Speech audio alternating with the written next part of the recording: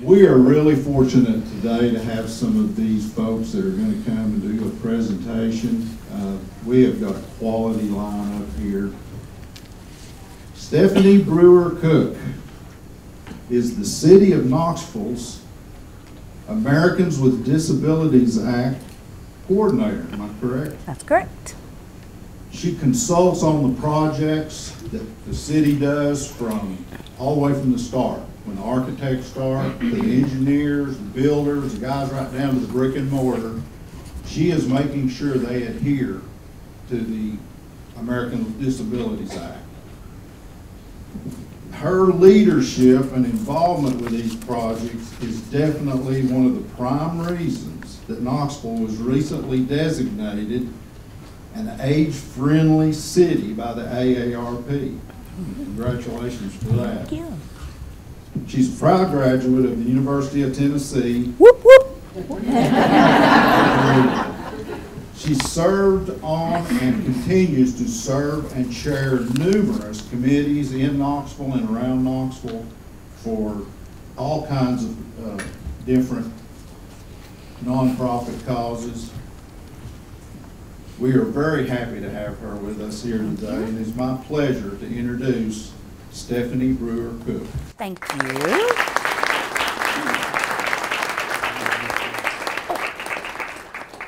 This, is this on, oh, really? Yes. I can't walk and chew gum and y'all want me to hold clickers and microphones. This is gonna be quite entertaining. Um, I apologize, and I apologize for being late. I was, um, I was physically in the wrong location. Happens to me all the time. So I know that when um, I met Brandy at another event down in Knoxville where we were talking about Brett Approved, which is a website um, dealing with people with disabilities and how they go out as tourists and visitors and the access or lack of access that we find when we're out and about. And so we got to talking, and she said that, um, you know, we get a lot of questions in our chamber where I'm at up in the Sevier County area about service animals and emotional support animals. And would you be willing to come and speak to us about that? And I said, sure. You give me a microphone, I will be there. So that's what we're going to talk about today. Um, there are a number of laws that impact the lives of individuals with disabilities. Um, one of them you've already heard about, the Americans with Disabilities Act, and um, that is an extremely important law because it is the first civil rights law for individuals with disabilities in our country. Only took it till 1990 to happen, but it happened.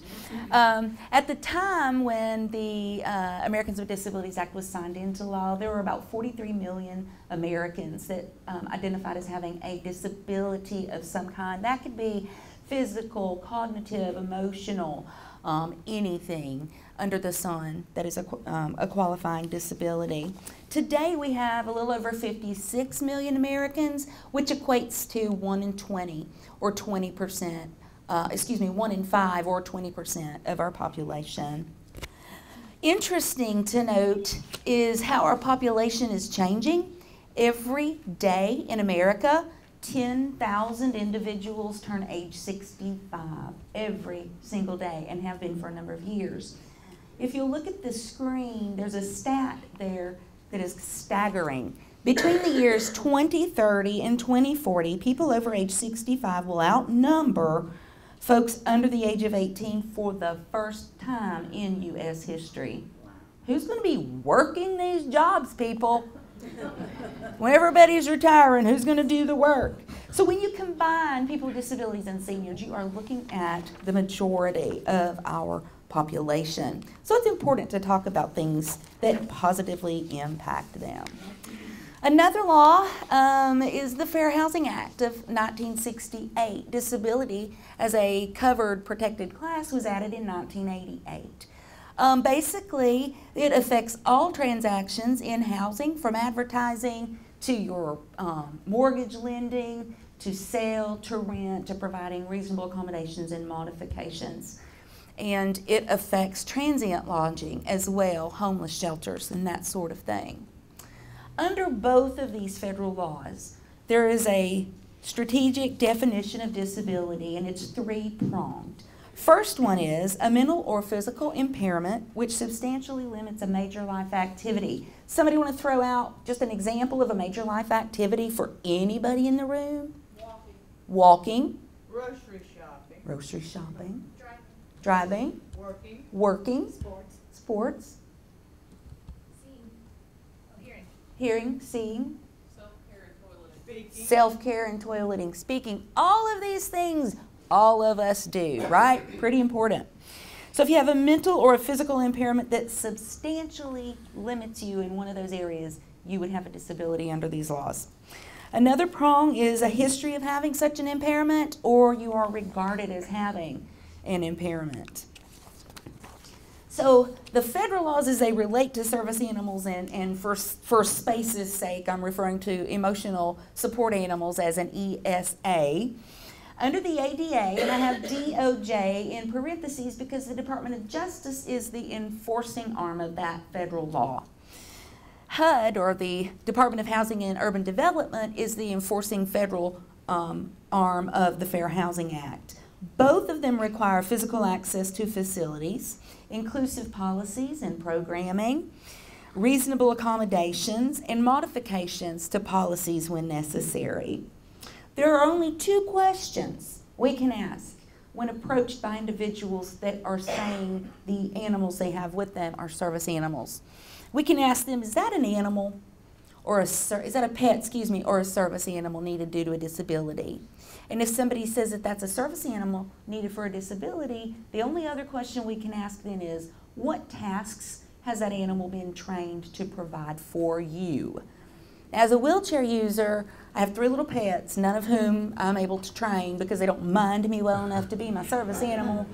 But um, if I had, then some of the common tasks a wheelchair user would want a service animal to perform would be picking things up off the floor when I drop them, maybe pulling me um, up a hill, up a, up a steep incline, that kind of thing, opening doors for me, that kind of thing. Um, so it's important that we know there are only two questions that we can ask. Now, if you're in the housing industry, um, then you are allowed to seek medical documentation from a mental health provider or other medical provider that connects the need for the emotional support animal to the individual with a mental or psychiatric disability.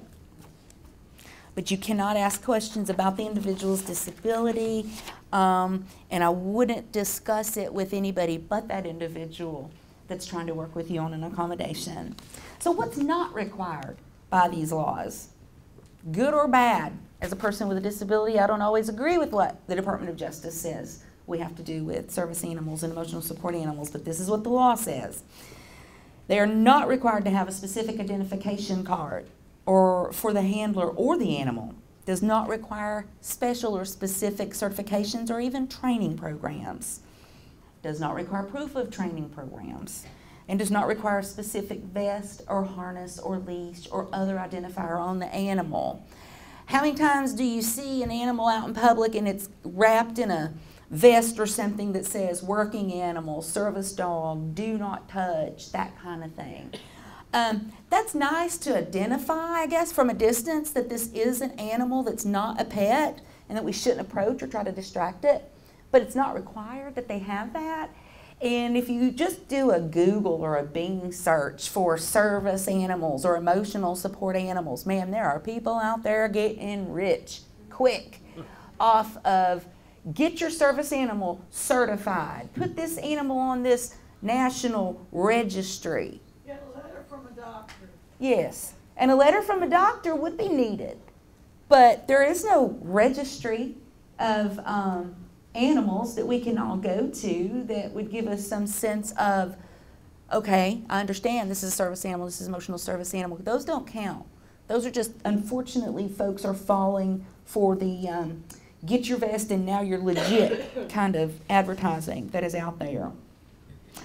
Required by the laws, however, is the service animal must be a dog or, in limited circumstances, a miniature horse under the ADA. I got her to chuckle. I always chuckle too when I think about a miniature horse trying to come and see us at the city county building in Knoxville. I'm thinking, where's the pet relief area for that? and who's going to deal with that? But, um, but at any rate, under the Fair Housing Act, it can really be any animal. Because there are cases when a dog or a miniature horse wouldn't provide the individual what it is that they need. Okay, so um, in this case, the no pets policies don't apply. Um, we have to be able to allow those in, even though we may have a no pet policy. There are no breed or size of animal restrictions under the ADA, but again, that's only applying to dogs and miniature horses.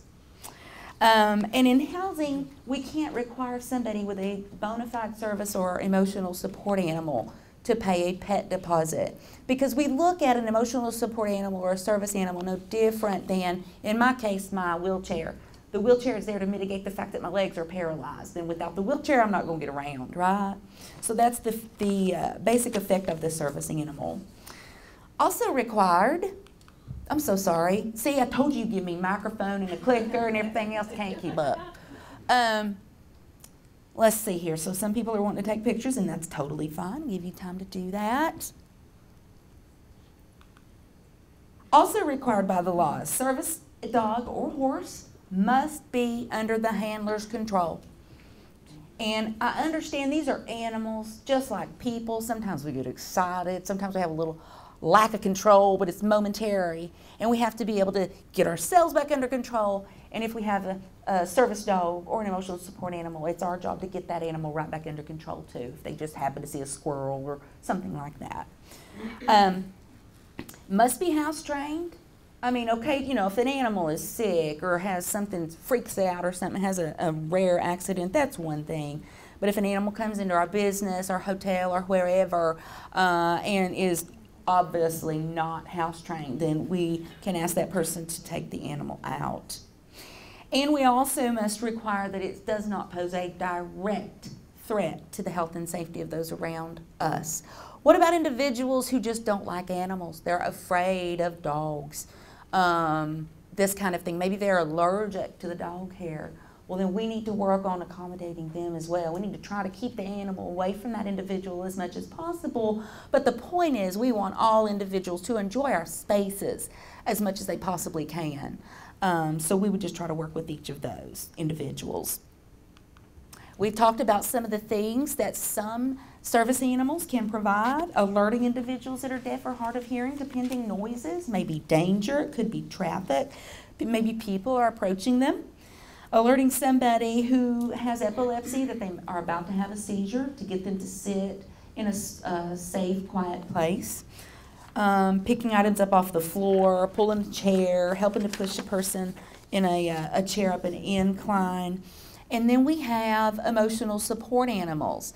They're defined as companion animals that provide a therapeutic benefit to an individual who has a mental or psychiatric disability.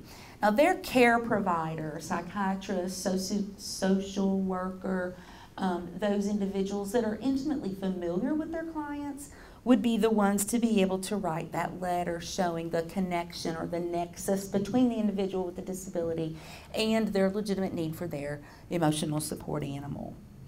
The person requiring an emotional support animal needs to have a verifiable disability and that goes to that nexus. So, for instance, um, where would be the point in my having a guide dog for an individual who has low vision or is blind when I don't have that particular impairment yet, right? So, my guide dog request, excuse me, my request for accommodation via a guide dog for somebody who has a visual impairment would not match my disability. So, I would expect that to be denied, right?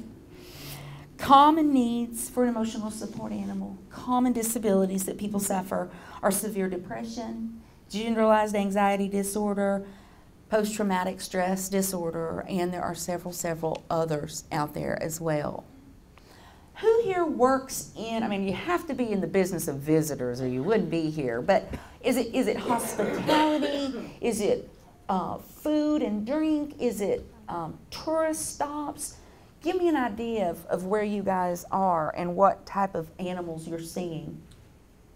Hotel, just raise your hand. Hotel, okay. Restaurant, tourist attraction, visitor attraction. Okay, so we've run the gamut. Um, how many of you have encountered a negative experience with a service animal or an emotional support animal? Okay, so that might be why we have so many people in the room here. Um, that's okay. I noticed in the prayer we were going to pray and talk about difficult people, and I'm the first speaker. I'm like, thanks, she does know me better than I thought. No, I'm teasing. I'm teasing. But the bottom line is just remember that a support, emotional support animal, um, or assistance animal, sometimes they're called, and a service animal, they serve a purpose. Um, doesn't mean that somebody with a disability can't be a turkey, you know, because all individuals can sometimes be turkeys.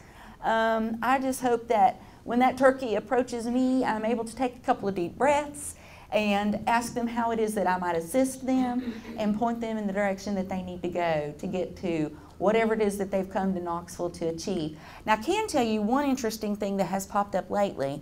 We got um, our animal control individuals got contacted by a person that's about to move to this area, I think he said, um, East Tennessee, Knoxville, Sevierville area. And he has a service animal that is a wolf hybrid.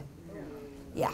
So I worked with my law department, my um, law enforcement individuals. We did some research and everything, and we simply won't recognize that as a service animal because of the half wolf part is listed as a class one dangerous animal.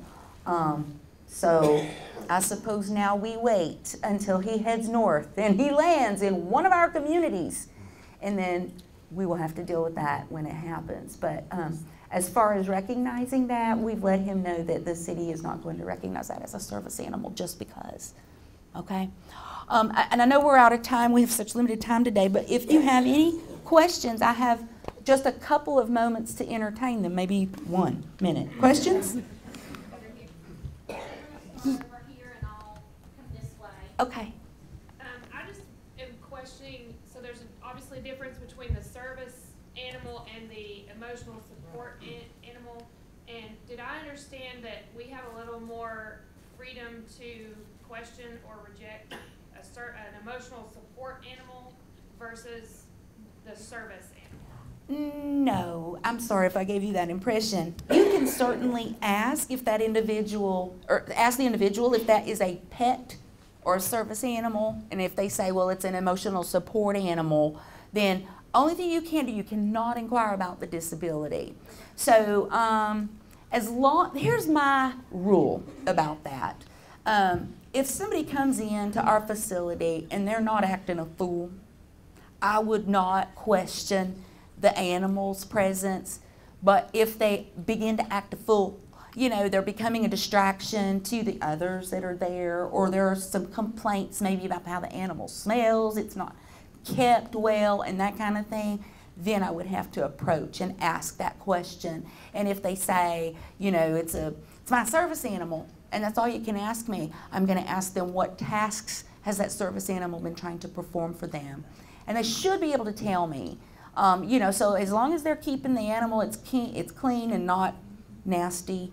Um, it doesn't uh, make a mess, so to speak. It's behaving under that handler's control. I just let that person do their thing. Does that help? Okay. I think Brandy's in control of the question and answer. Um, we had a guest arrive with a service monkey, and, um, they wanted to bring it to the breakfast area. And our only problem was is we had other guests who complained about it. Service monkey in what context? Um, A, hotel or a restaurant? It was a hotel that has a continental breakfast. Okay. They claimed it as a service animal. Do you recall, or an emotional support animal? I don't remember which Okay. ones they used. The only reason I'm asking is if you, it- the Department of Justice will only recognize a dog and a miniature horse in limited circumstances. So if you come to me with a service animal monkey, does not meet the definition. Does not meet the definition. But if they call it an emotional support, it would? then that monkey better be on its best behavior, better be house trained, better not poop on the floor. And in all defense, the monkey, it never came off of the person's shoulder, Sure, but it's just the other guests were I understand. I understand. This is another situation where something benefits one group of people and another group of people just doesn't really understand it. And so we often fear or hate what we don't understand. You said that they don't have to be on a leash if they come in? They have to be under the handler's control. Now, in some circumstances, for instance, I have some friends that are quadriplegic, so they don't have full use of their arms or legs, and their manual dexterity is very limited. So it might be difficult for them to hold a traditional leash, you know, or a leash that's retractable.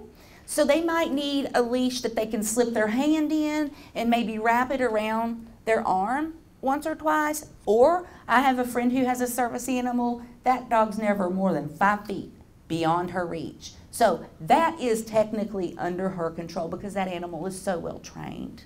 Does that make sense? Well, if they have a, an animal that they're care, they're able to walk, but they're just carrying this animal like under their arm, and are they allowed to go to the food bar with that animal under that arm? A service animal and an emotional support animal um, is allowed to go wherever in the public any of us can go in the public restaurants, hospitals, that kind of thing. Um, there will be people that would say health codes mandate no animals in this space. Animals can't go in food prep areas. Um, I would not really appreciate the dog under the arm. I might, you know, be a little cautious. I'd try to figure out a strategic way to offer to help her fill her plate or something to keep the dog at arm's length from the buffet, that kind of thing. Um, but technically, if it's under that person's control, it would be okay under the law. Uh, I don't know about anybody else, but I work at a motel, and the problem that we find is everybody that comes in has a service dog. Mhm. They're not really, you see them running out the door with every kid, every person to take them out to the bathroom. They don't, and, and you can't ask them anything, but everybody has a service animal, and that's why I'm here today, to find out what we can do about that. I understand. I, you could maybe talk to your legislators on changing that ADA and tightening up that law. That's the only thing I know to do. And you know, if you think about it, um, when when this was when this came out and it was civil rights law, you got people with disabilities here who have never been able to enter a government building, or never been able to get on a public transit vehicle, never been able to vote, never been able to go to the movie of their choice or a hotel and stay um, as they like because it wasn't accessible.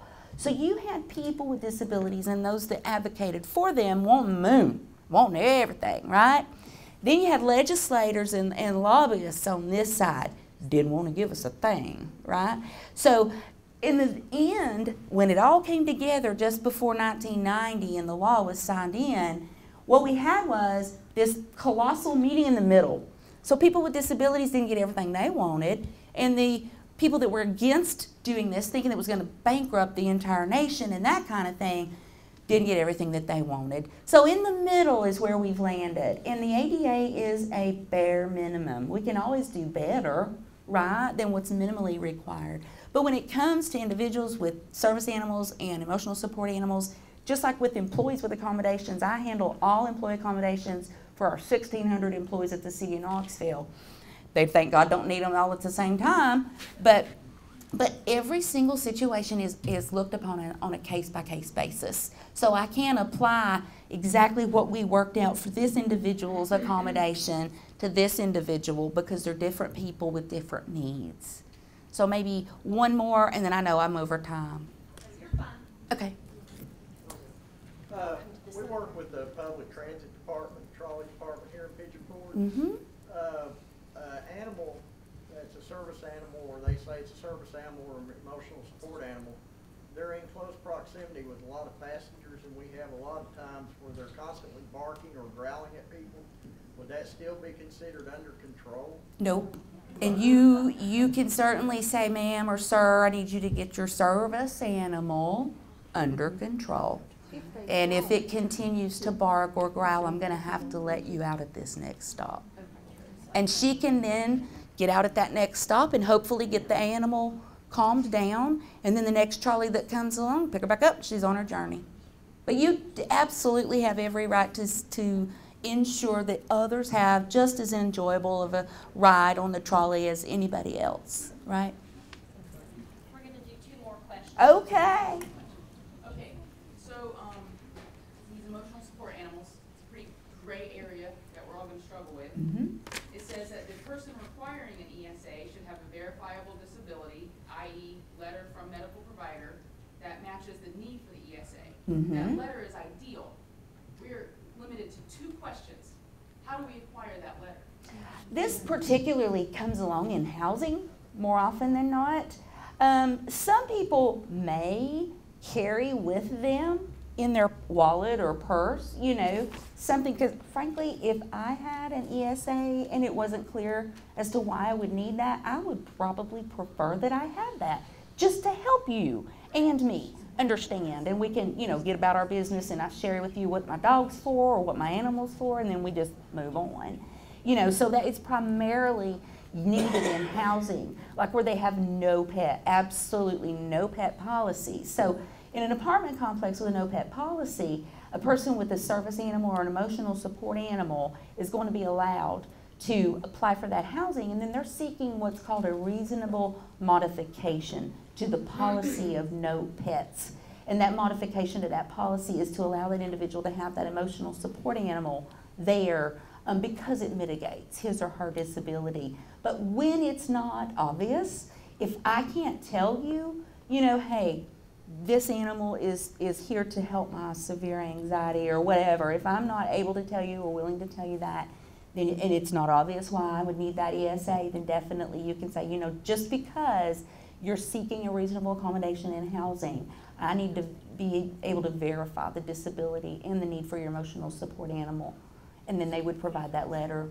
So if that question number two is not properly answered, I could segue into You could potentially, I, I would limit the questions just because um, we're in the business of, of business. you know, we want customers and, and we want them to come back and share an experience at our place that was positive.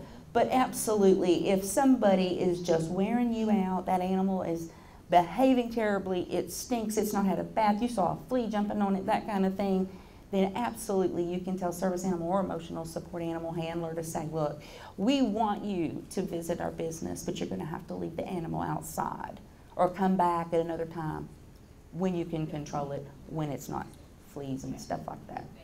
Last question right here, and Okay. then will you stick around to Sure. answer more questions towards the end? Thank you very much. If uh, a business owner asks the question of what tasks is the dog or horse uh, uh, trained to perform, Mhm. or if that per- if the business owner feels like that animal is a direct threat to health or safety, and and ask and you know not satisfied with the answers, they don't know what the tasks are, it's a direct threat, and ask that person to leave the animal or not enter, and that person is combative. Do you have recommendations on what the next steps would be? Call the stay on. And hope, hope they're trained in how to handle situations like that. So um, I train all the KPD recru- recruits that come in on ADA, people with disabilities, and, and these kinds of issues. So hope they're trained and hope the media doesn't show up. Yeah, there you go. So thank you guys for having me. Thank you much, Stephanie. That was very informative. Still a little confusing because it is a confusing topic. So we will continue to work together as a community to answer these questions. And of course, in our world that we live in here in Sevier County, we are all about tourism, and every tourist carries with them a phone, a camera, and we're always, uh, you know, worried about those viral videos.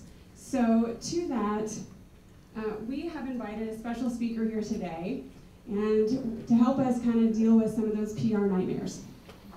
Lauren Miller is with Moxley Carmichael, and she's been with them since 2007. During her tenure, Lauren has built relationships with the media, key community leaders, and partners across East Tennessee. Lauren leverages these relationships with her expertise in, in, in the industry and passion for community to deliver effective communication activities for her clients. In addition to providing counsel and strategic planning for long-term goals, Lauren implements communication strategies and oversees day-to-day media relations and public relations activities for such clients as Pilot Flying J, Covenant Health, Summit Medical Group, and Cherokee Distributing Company, among others. Lauren earned a degree in public relations from the University of Florida in 2007. She serves as a United Way of Greater Knoxville Young Leader and as a member of Public Relations Society of America and East Tennessee Economic Council. She is an Oak Ridge, Tennessee native and resides in Knoxville with her husband John and her two dogs, Chloe and Pets. So will you please help me welcome Lauren Miller. Oh, yeah. Two. it's tricky for all of us. Thank you all so much for having me here today. I wish I could say that I had some um, tricks up my sleeve, but all I'm going to be able to do is help you navigate based on the law that Stephanie has already talk to us about what to do when problems arise. Um, this is a beautiful service animal from Smoky Mountain um, Service Dogs. Some of you may be familiar with that organization. And don't we wish that they were all this well behaved and well trained and uh, identifiable, but we realize that's not the case, and that's why we're here today. Uh, uh, yes, I am Lauren Miller, the Director of Client Services. Uh, Moxley Carmichael is a full service public relations firm in Knoxville. We're very involved in uh, the region, including here in Sevier County. So I will do a quick plug, if you'll uh, forgive me, but I want to make sure you're all invited. We are helping with the opening of the new Dave Buster's in Sevierville. They're opening on Monday, you know, for visitors and tourists and everyone, but they want to make sure that the community has a, a chance to experience them. And so if you haven't already received the invitation, there is a VIP event this Thursday evening um, at 6 o'clock free food, free drinks, free gameplay. They would love everyone who lives and works in this area to get to experience it first. Um, I have a bunch of um, invitations here that you're welcome to take to your friends, family, um, colleagues, employees, so um, we'd love to see you there.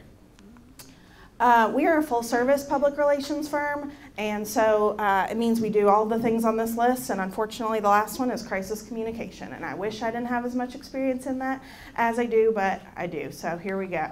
Um, service animals in the news. Uh, we see this every day. There are a lot of headlines that are confusing and frustrating. Um, Service animals and emotional support animals aren't the same thing, experts say. That still makes it difficult for a business owner, even if they're not the same thing, uh, because of, as we learned, the questions that you can and can't ask.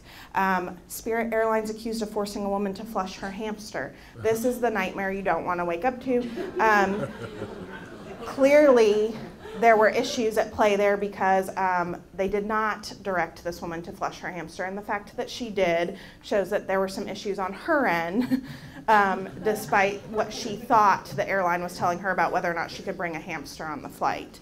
Um, that's a good example of even though you and your staff may do everything right, you may have a customer who um, wants to blame someone else for a situation, and you're going to have to deal with that in the news. Um, this man wrongfully removed from American Airlines flight. That was an interesting situation because he didn't have the animal. He was sat next to a woman with a service dog, was allergic. Um, they tried to move him to another seat. There was some confusion around moving him to another seat. Finally, when they were going to move the woman with the dog, the captain deplaned him, and then there were accusations that the captain was actually being racist. So, this is where things can also spiral out of control.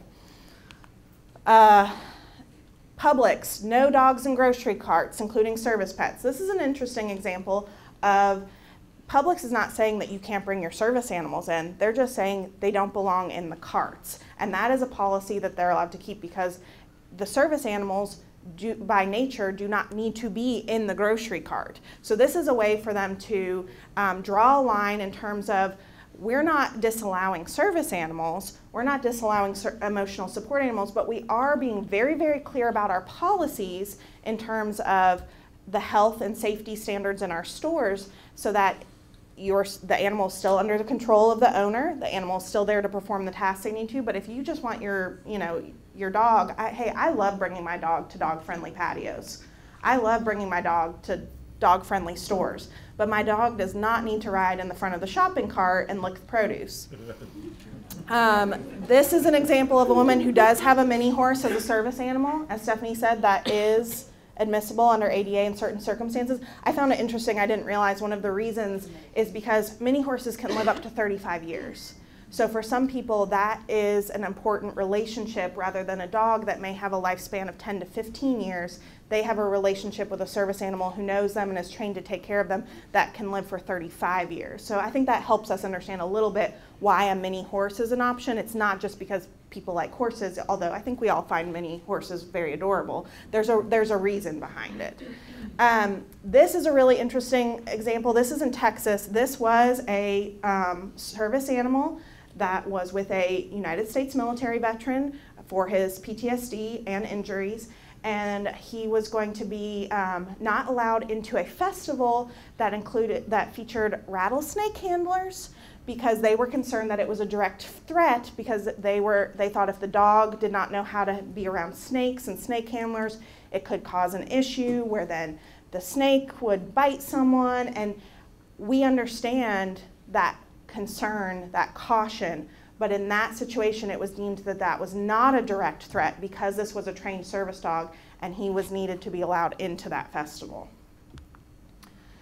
Uh, American Airlines updates support and service animal. Mini horses still fly free. That's just a, a fun headline. Um, uh, Walmart is another um, major retailer that's cracking down on policies because they've seen a lot of social media um, complaints, as I think some of you have alluded to, not from the people who want to bring the animals in, but from the other customers who are asking, why is there a monkey defecating in the sporting goods section? You know, they see a lot of tweets like that of people saying, come on, you know, or my wife just told me she left Walmart without finishing shopping for our groceries because there was a woman carrying a snake around her neck and she was scared. Um, so Walmart is trying to address that we need to still allow service animals, emotional support animals, but we're going to be really clear about our policies um, so that we are dissuading people who just want to bring animals in because frankly, we know there are unfortunately people who are going to be dishonest or um, inconsiderate around individuals who truly need service animals because that's what Stephanie talked about. These are these are a true need, but there are people who are going to be dishonest about that or um, cavalier about it because they just prefer to have their animal with them. We're going to try and dissuade those folks. And to that point, um, there are a lot of states that are trying to add laws to crack down on fines that um, would punish people who misrepresent their animals as service dogs when they're not. That being said, that still does not um, change the ADA uh, requirements that Stephanie outlined, where right now you still can only ask those two questions. Is this, uh, is this dog a trained service dog for a disability, and what is the dog trained to do? But we're, um, they're hoping that some of these laws, again, will just dissuade people who are trying to take advantage of the situation. So first things first, understand the law and follow the law. Again, PR does not change that. Um, set your policies and procedures. I think this is the most important part. Do you have in your businesses your own understanding of how you're going to handle when folks come in with an animal? Do you have have you trained your staff and do you have written policies? That's exactly what Walmart and Publix and some of these large retailers are doing that I think we can all take a page from. Because if you don't have a policy in place, how will your staff consistently implement that? And how will you be able to be sure that you're following the law and showing compassion to paying customers, right? Um, you need to consider the situations, like we said, with service animals, emotional support animals, and pets. And so you might have different steps in your policy depending on how those questions are answered, right? Um, just because you have to allow service animals doesn't mean that you can you don't have to have a policy that says we don't allow pets. Of course, many businesses do. You just need to be very clear about that policy. It's the same thing as in school. If you, if a teacher had a rule on the wall and you broke that rule, you knew you were in trouble. If you go somewhere and you get in trouble for something you didn't realize as a rule, that's when people get very upset and very defensive and are going to try and find a way to get out of trouble. If you're clear about the rules on the front end, then I think you're going to find that most people, there's still going to be exceptions, most people are going to be understanding about following the rules you have in place. You may want to consult with legal counsel about your animal policies. So if you if you do decide I'm going to do a written policy and I'm going to train my staff, I, I think it's wise to consult with an attorney and make sure that the way you've written that is um, in compliance with the ADA. Um, and like I said, train your staff, post written policy. So that might mean on your website, might mean on your Facebook page if these are um, places that people look for information. Again, make it clear on the front end. Again, there are going to be folks who, if they look on your website or your Facebook page and they see a clear no pets policy, they're just going to go to a different place. If they don't see that and they come all the way down to your business with Fifi in tow, they're going to be frustrated. Um, also consider signage on site for that reason.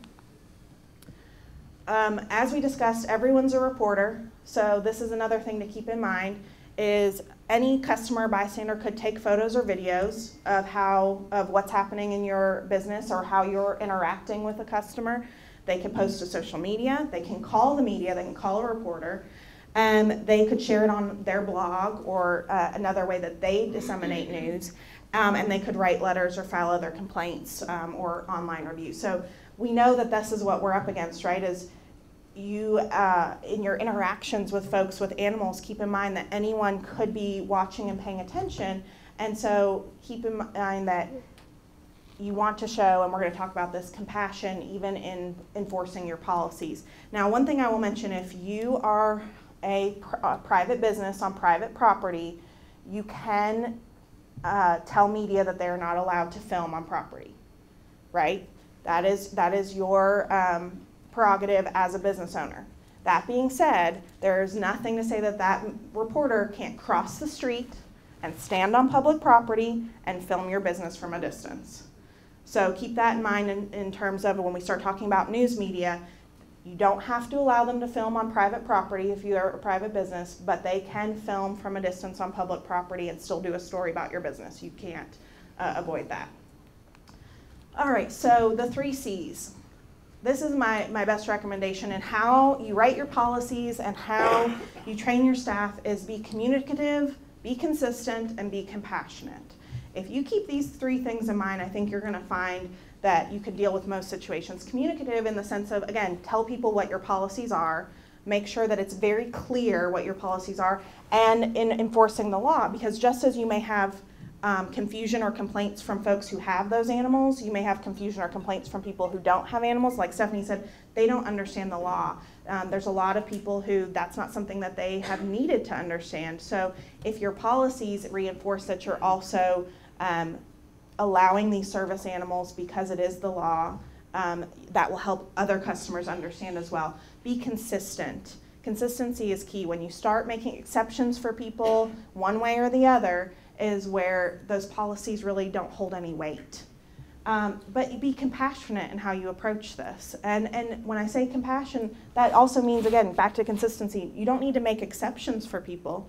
Be consistent, but be compassionate in how you explain those policies, explain how you're enforcing um, the law that, which you, you must uh, adhere to. The other C, unfortunately, is crisis. So that's when you start to get the negative reviews, the news stories, the social media posts and comments. And, and like we said, we know them. We're dealing with opinions and anger and other emotions, sometimes on both sides, and a lot of misinformation at times, right? So, how do you start to deal with that when you have that negativity? Again, keep in mind communicative, consistent, compassionate. Avoid no comment. If you guys are watching the news and somebody comes out of the courthouse steps and they've been accused of a crime and the reporter asks, did you do it? And they say no comment. What's your first assumption?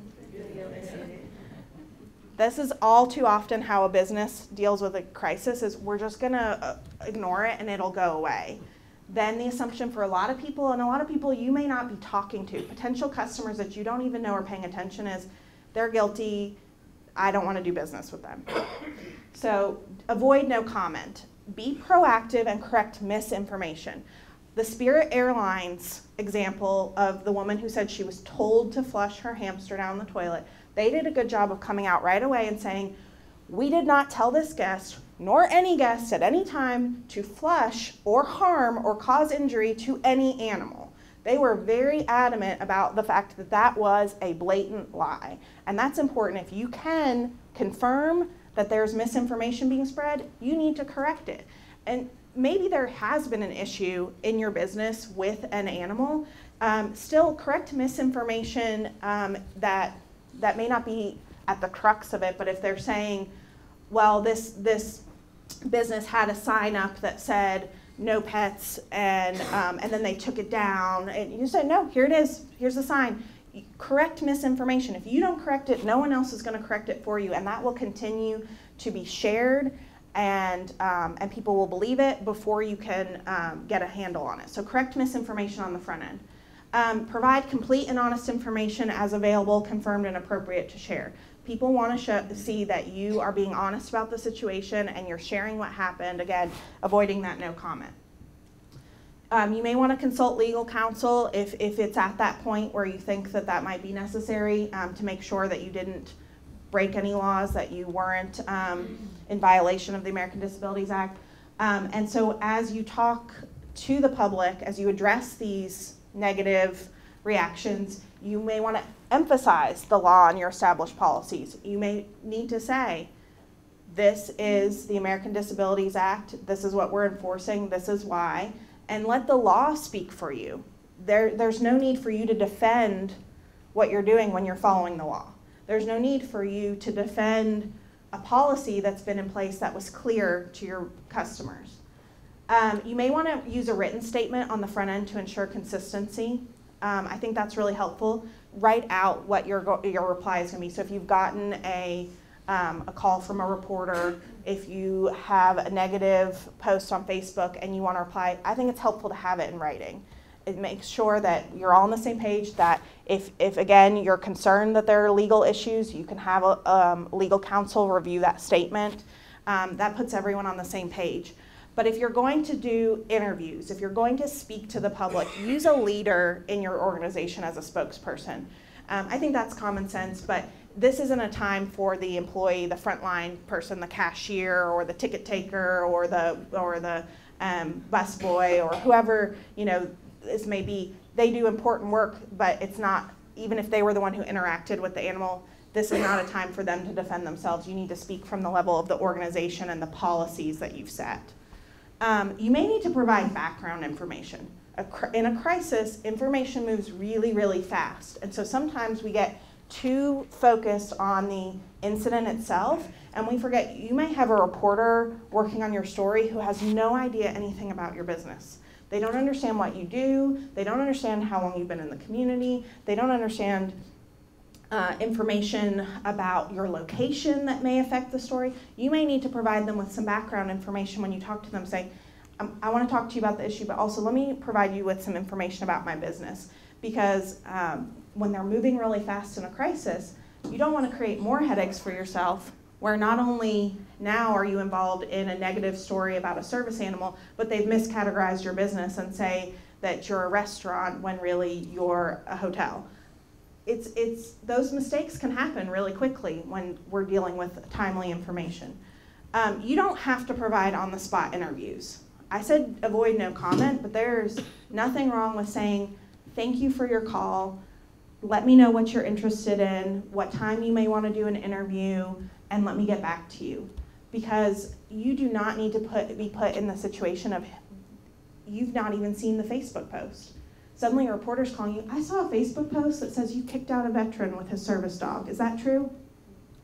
You have no idea what they're talking about. That is not the time to do an on the spot interview, and it's perfectly fine to say, Thank you for this information. I need to look into this. Can I have your contact information? Can I call you back? Now, you need to follow up, but you do not need to provide an on the spot interview. And some, inter- some reporters, that's their job, are going to pressure you to answer. But can you just tell me if it's true or not? Just real quick, just before, can't you tell me whether it's true or not? Say, I appreciate your call, let me get some more information and call you back. Do not be pressured into doing on-the-spot interviews, especially when you do not know the full story. You need to do your homework, you need to talk to your staff, and you need to make sure that you understand what happened before speaking publicly.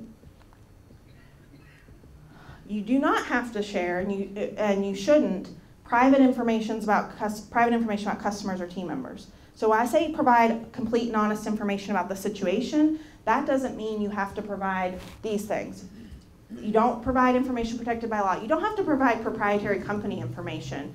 Um, for example, um, I've had situations with clients where they want to say, well, um, the, the media wants to say, well, can you tell us what security measures are in place to avoid an incident like this again? This isn't specific to service animals, but no, we're not going to tell the public where the security cameras are, what security procedures are in place, what, um, what policies our employees use when there is a threat to the company. Because by doing that, by sharing that proprietary information, we're putting our business at risk in the future because we've shared all our secrets. so you do not have to share proprietary company information, and it's okay to say when you're being asked questions about that. And you don't have to share details related to an open police investigation. I don't think there's many situations that are going to go that far, but it is perfectly fine to say, this is an open police investigation. Please refer your questions to the proper authorities. Once it's a police investigation, they should be the ones speaking to the issue. One more um, point about crisis communications and just in general, in case it's helpful, there's no such thing as off the record.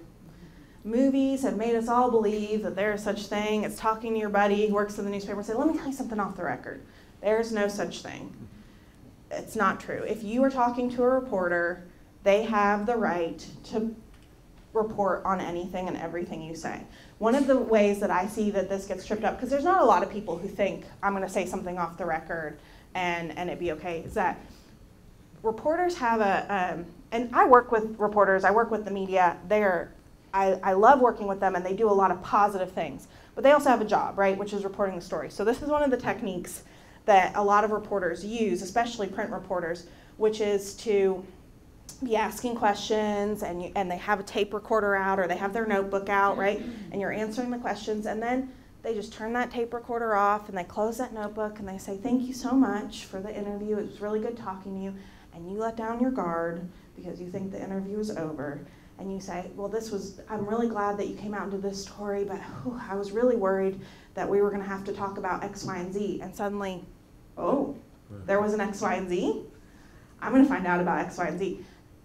The, the interview is not a finite piece of time. If you're talking to a reporter, just keep in mind that's their job is to find a story and they can report on whatever you say, even when the notebook is closed, even when the tape recorder is off. Um, keep in mind during a crisis, you want to make sure you have someone on your team assigned to monitoring the news and the social media and the reviews. Because as that information gets shared, you want to make sure that you understand everywhere it's being shared in case you need to address it. And if you're not monitoring it, there may be places where you're not, um, you know, no one's going to call you. There are times, as media continues to shrink, right? We know this is what's happening in newsrooms is that there are fewer and fewer reporters. It used to be a reporter would get a story and they would be assigned and they would, you know, call multiple sources and they would learn as much as they could about that story. They're under a ton of deadline pressure right now. The news is 24 hours, everything breaks online fast. So they do a lot of what we call single source reporting, which is I'm a disgruntled customer. I call you. I say there's a problem, and I'm gonna, and that reporter says, "Great, I'm going to run with that story." Um, the reporter should call you and get your side of the story, but if you're not looking, especially once that story hits of where other media might be picking it up and then talk, talking to that person and running similar stories, you might not see, uh, they might not always be calling you, and you need to be proactive in finding out where the misinformation may be or, um, or opportunities to share your statement. So do that. Um, you also want to keep in mind you need to train your staff to handle calls and in person questions, um, both from your customers, but also media is not always going to know to ask for you as the business owner. So if media calls and they say, I've heard that this happened, I want to talk with someone, is your staff trained on how you want them to handle that call? Keep that in mind, they may not be. And sometimes um, there are situations even when, um, even when staff is told, hey, if media calls, you route it to me. We've seen situations where they think they're being, you know, um, they're well-meaning and suddenly they're giving an interview that you didn't know about. So make sure to train all of your staff. Um, as I mentioned, you want to correct or report false or slanderous information. So you want to correct misinformation, but when we start to talk about online reviews and social media posts, you guys have seen you can report if there is um, harassing language or slanderous information. Don't let those things go by. Um, you, you need to report those, you need to flag those. And um, Facebook, um, Google all have procedures in place to have posts taken down when they are deemed um, slanderous or offensive. Um, you want to enforce your social media policy. I hope all of you have a social media policy. This goes back to the same idea as the service animal policy. If you don't have it written, then people don't know and you're going to have trouble enforcing it. So, in the uh, on your Facebook page or on uh, uh, in the about section or in more information, I recommend having a policy that says we encourage open communication and dialogue, but if you use offensive language, harassing language, you will be removed from our page. I recommend having a policy in place. And you can find sample language online, have that in place. So then when you have someone who's cursing on your page, it's completely appropriate to delete that comment, ban them from the page, and then I recommend adding a post so your other customers see a comment has been removed from this thread because that person violated our social media policy by using offensive language. That's again being communicative and transparent so people know we're not deleting this comment just because we don't like it. This person's being offensive. We had a policy in place, they broke it, and so we're enforcing our rules. But don't, again, delete the negative comments just because you don't like them, right? That to um, customers is a big dissatisfier because they feel like you're just gaming the system so that people only see positive things and they don't know the truth. So if it's offensive, you can delete it. If not, you need to try and address those negative comments. So let's talk a little more about that.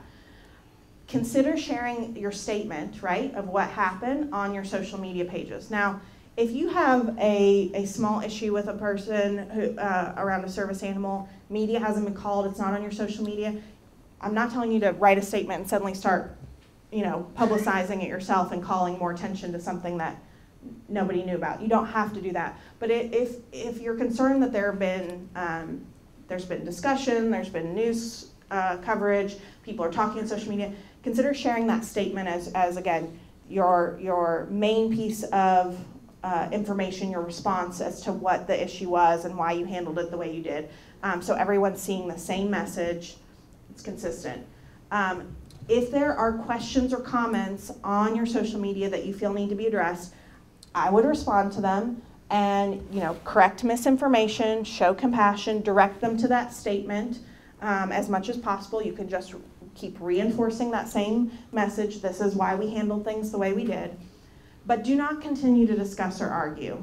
You're just going to go down a rabbit hole that you can't win on social media. It is perfectly fine as a business, I think, to listen to concerns, address them, but you don't need to continue to argue with someone on a post.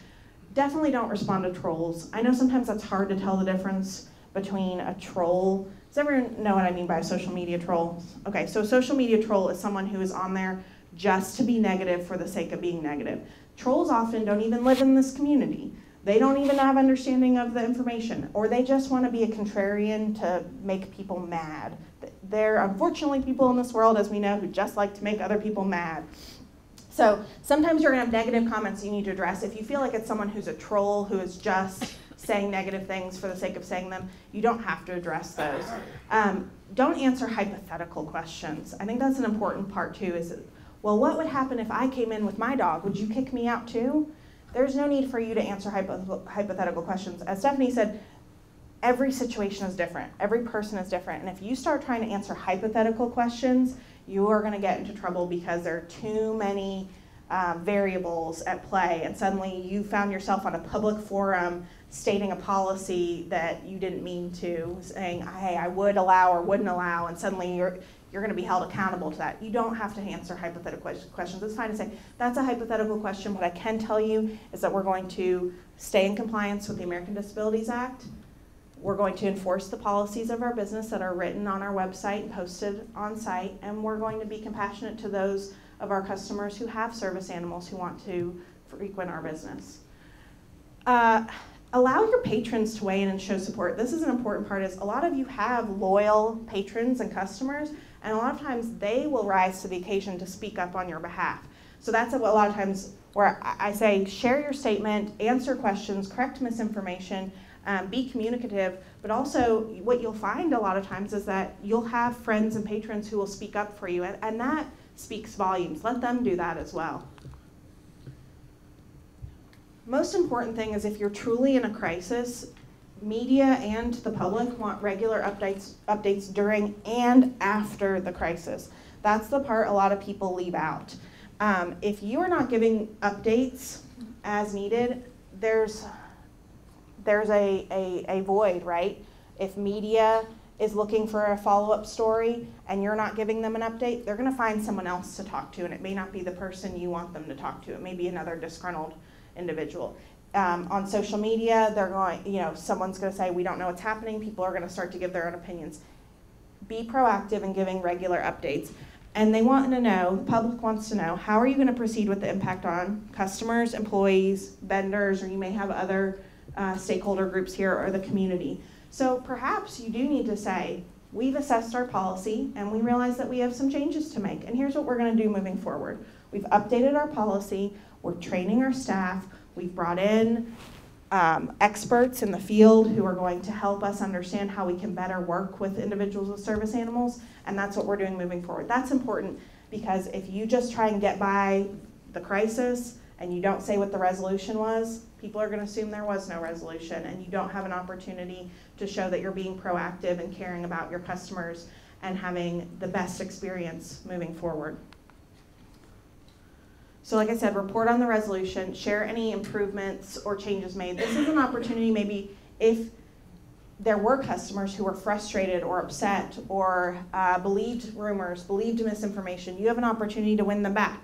Show your commitment to serving them and to your community and providing a space that is welcoming to people with disabilities, but also to all customers while following the law. So I would, whenever possible, think of this as an opportunity. Don't stick your head in the sand because you think, oh, the news stories are over, we weathered that storm, we're gonna, you know, move on to the next thing. You may have customers who have thought twice about your business because of a, uh, a headline they saw.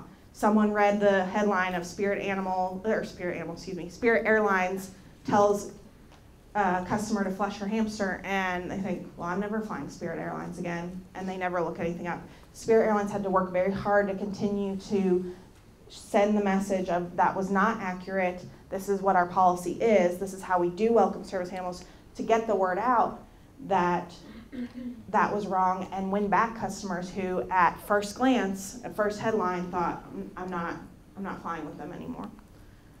So, that is a quick rundown of some of the crisis communications recommendations. And we're going to skip Q&A because I took too much time. but I'm ha- will stay around. I will stick around and I'll be happy to answer questions. Thank you so much, Lauren, and like you said, you're sticking to, Lauren will stick around to answer any questions that you have for your, um, your business. At this time, I do have the privilege of introducing you to the- our last speaker. Dr. Megan Stinson is a Sevier County native and a physical therapist.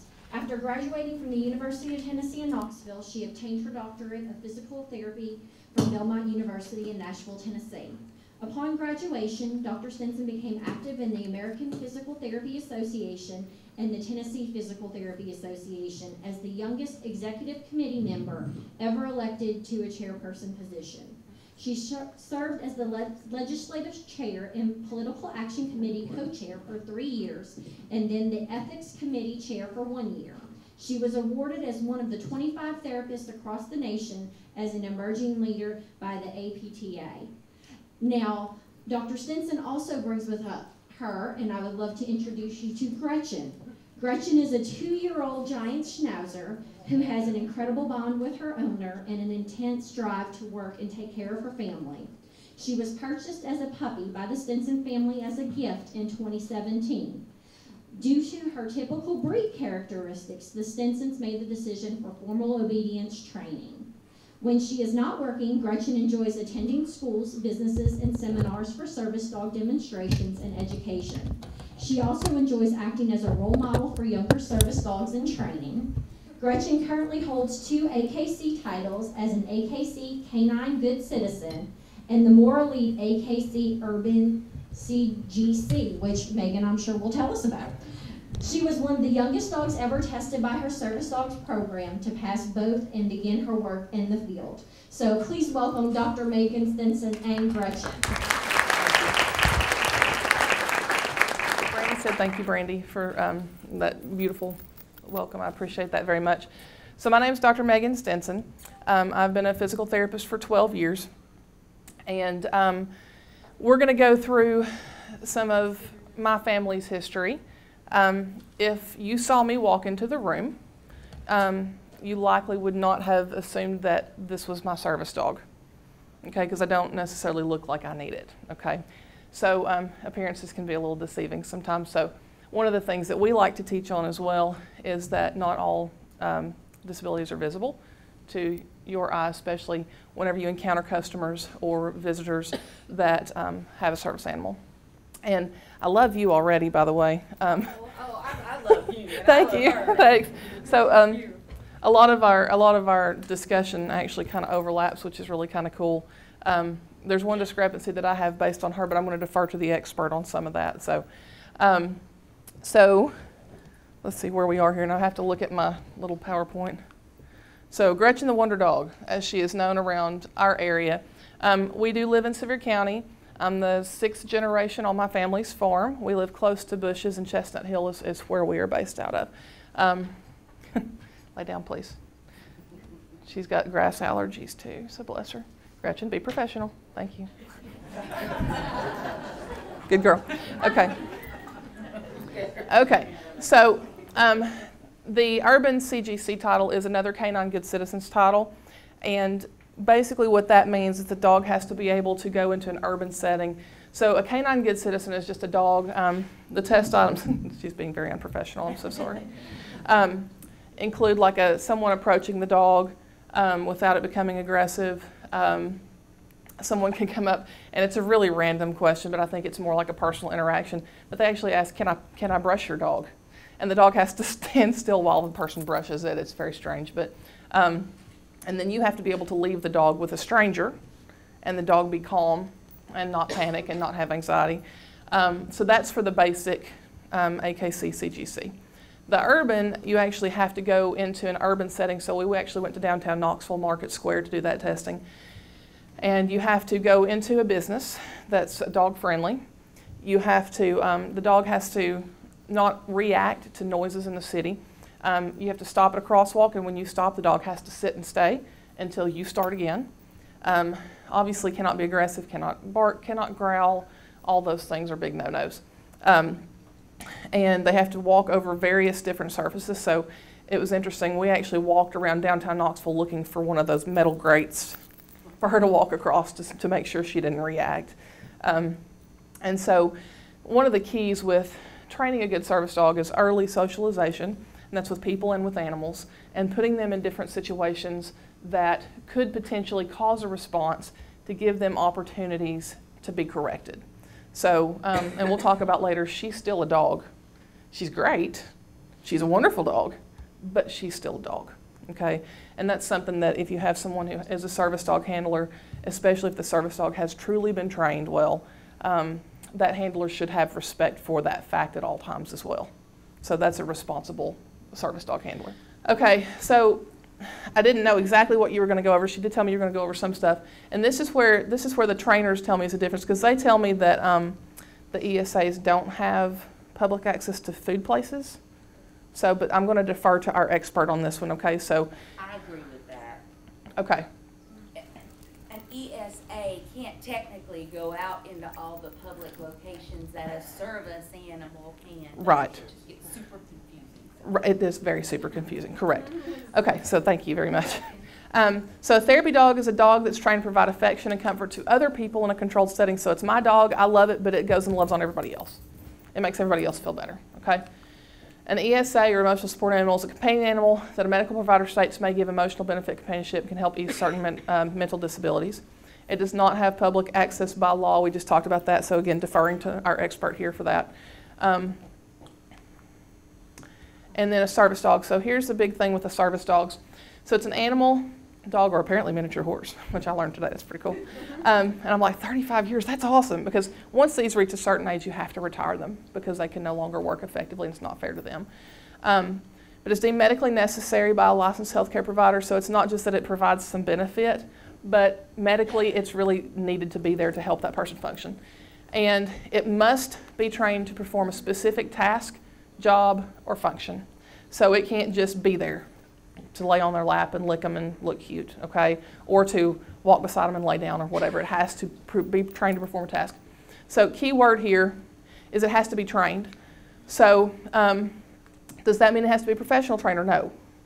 Sometimes, unfortunately, not. Um, but it must be trained to perform a specific something, okay? And it cannot be something that the dog would naturally perform. So you get upset the dog comes and loves on you. That's really not it performing a trained task. That's just it being a dog that loves you and it knows you're upset. So there's a difference between those. It is protected by law for public access. She already went over that. Um, it is viewed as medical equipment.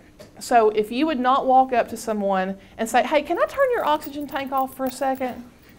I mean, I know that you need it to live and breathe, but can I just reach down and just play with that a little? So if you wouldn't do that, you shouldn't walk up and even talk to a service dog. Okay? So that's a, a decently good way of kind of putting those two together because it's not, she's not a pet. I love her. She's spoiled rotten. She's treated better than most people that I know. But at the same time, she's not my pet. She doesn't get treats all the time. She doesn't get to do this and do that now. She does have off time where she's just a dog and we play and the boys play with her. But when she's working, she's not a pet. And it is viewed completely differently. Okay? Um, she gets treats only for training purposes. The rest of the time, she gets dog food. And we even withhold food sometimes for a feeding to get her to perform a difficult task with treats. So, again, she is a very specific tool. Um, okay, she already went over this. Thank you. There is no formal service dog registration. Registration, excuse me. There's a U.S. service dog registration, an American service dog registration, and the service dog registration of Idaho, and all these things. They're all scams. They're just trying to get people's money, trying to take them under the table or whatever, you know, like she said. Um, and I've had businesses that say, "Do you have her formal service dog registration?" No, I don't, because it's there's no such thing. And then we have to provide some education, and then we have to be a little stern, and then we have to pull up the ADA, laws on our phone. Um, our particular training program, because of this, did actually start making little IDs, which unfortunately you can also buy on Amazon for your dog that have nice little watermarks and all. Um, but they did provide us with a card that says, look, if you run into trouble, here it is. ADA laws are on the back. If you need it, flash it. Otherwise, they should never ask anyway. Okay. Um, a letter from an internet doctor does not count as a licensed medical provider saying that you need a service dog. Um, one of the biggest issues we have, I love taking her places, I love talking to people, I love educating people. But when someone walks up to me and says, Oh, yeah, my brother's got a service dog, this guy on the internet sent him a letter, and he just takes it wherever he wants to go because he thought that'd be cool. or yesterday, actually, yesterday, um, a lady walked up to tell me that one of her family members has a very aggressive dog. It's a very large, aggressive dog. And her family member thought it would be fun to buy a vest and get an ID card and take it places so that they, he could see the reaction of when people of, of people when it barked and growled and snapped and snarled. That did not go well. um, yeah, that's those. Yeah, so we, we had a very long discussion whether they wanted to sit there and listen to it or not. I was like, yeah, you started this. Okay, so like she said, um, a training for the service dog is unfortunately not mandated. This is something that irritates service dog handlers because um, you, can, you can have a dog, you can train it to perform a specific task, and it's a service dog. I mean, legally, right now it is. That doesn't mean it should be. Okay, just because it's a good dog does not mean it needs to be a service dog. Um, one of the things that we harp on all the time, and she actually mentioned all of them, we call it the three Ds. So it cannot be anything, any of the three Ds. So disruptive, so barking, somebody asked about the trolley, barking, growling, snarling, snapping. Um, she does itch because of grass allergies. But if she did it constantly, I wouldn't have her here today. Okay, because that's disruptive to what you guys are trying to learn. Disgusting. So housebroken, all right? If she came up here, I'm the perfect service dog, right in the middle of the podium, probably not the best thing, okay? So this baby here has gone for 12 hours while I was in the hospital and not used the bathroom because she knows that's not what she's supposed to do. Um, and then again, dangerous. So at no point should a service dog ever, ever show aggression, ever. So say dark night, strange man comes running up to me in a hoodie. She should not react to that because she is a service dog. Does it mean I wouldn't want her to? Maybe not necessarily. Okay, we don't. Nobody likes that, but just saying. And I know I'm running like crazy over. Yeah, Brady's back there. Come on. Okay. Ideally, they should meet all of these things. Okay. However, it's still a dog and not a robot. That's something really big to remember. They all make mistakes. We all make mistakes. Um, at the end of the day, it's still a dog. Okay. It needs to be a well-behaved dog. It needs to be a well-groomed dog. And it doesn't have to have a fancy haircut, but it needs to be clean. You, you would love to run in, run out, and be done. If 15 people try to stop and talk to you about your dog because it's great and wonderful in every way, and they know somebody else who has a service dog, and you know I've had four miniature schnauzers in my life, never seen a giant. These are things we get. That's great. I love you. I love people. I love to talk about it. I love to educate, but sometimes I don't have time. Um, fake service dogs make it very difficult on us too. Um, if we have to go to a restaurant, I usually try to call ahead out of respect for them. Um, had one place that had a German Shepherd dog that came in as a service dog. I say that lovingly. Um, growled at all the servers, ate off of the owner's plate, jumped up on the table next to it, ate their food. Um, and so when we when we came to the restaurant, they were not excited to see us. It's just, I mean, they weren't. It was a bad experience. There were so many hands that went up whenever she asked if there were bad experiences with service dogs or emotional support animals. And so it makes it harder on us because again, this is not the life I chose. I mean, I was going to be a, you know, actually I was going to be a veterinarian, but then I decided to be a PT. Um, but I was going to grow up and get married and have kids and live on a farm and sit by the fire every night and, you know, drink tea with my husband and live a long time and have the perfect kids that were perfect at everything. It's just not what God had planned for me. So um, it makes it hard on us too. Please be kind. Again, like we said before, it's not easy to have this, especially when it's not something you were looking forward to. Please don't ask to pet the dog. The dog is medical equipment. We already talked about the oxygen. Had a friend, went to Dairy Queen. Somebody came up and started petting the dog, um, or at least talking to her about petting the dog. Dog missed an alert. She had a seizure, busted her head, ended up with an ER bill. Lots of bad stuff happened. Um, it is also, you really don't need to interact with the dog. So if the dog service handler is approaching you, don't go, oh, yes, because again, that's distracting the dog and they could miss an alert, okay? Even if it's really pretty and it, you really want to touch it, just don't do it, please. Um, okay, what we do appreciate is do not assume that because you cannot see the disability it doesn't exist. It's one of my main points here, okay? Um, just because it's not visually, obviously right there, doesn't mean it's not there. Compliment the dog. Hey, your dog's very well behaved. I appreciate that. Compliment the handler. I can see you put a lot of work into this dog. Thank you. Okay? Um, ignore the dog. So, again, don't. Okay. Um, speak to the handlers if the dog's not present during the business interaction. This is so important because we want to know that your customer service is here, not here. And we appreciate that. But at the same time, if I came to you to buy cupcakes, I don't want you to be talking about the dog the whole time I'm trying to tell you what I need for cupcakes or my room accommodations or my order or whatever, okay? Again, please be kind. It's hard. It, it is. And like I said, fake service dogs make it harder. It makes it hard on you guys. Um, but just try to be compassionate. All right, thank you. I know I ran way over. I think we all have. So I love you all. Thank you for allowing us to be here.